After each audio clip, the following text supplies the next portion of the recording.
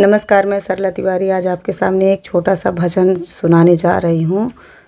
जो यह भजन मैं आपको सुनाऊँगी, यह मेरे पिताजी गाते हैं हमेशा रामायण में। उन्हीं का यह गीत है। आइए सुनते हैं। आपको यह भजन कैसा लगता है, कमेंट में ज़रूर बताइएगा। सीखे अनुसुईया सीता को देने लगी, पत्नी होती है पर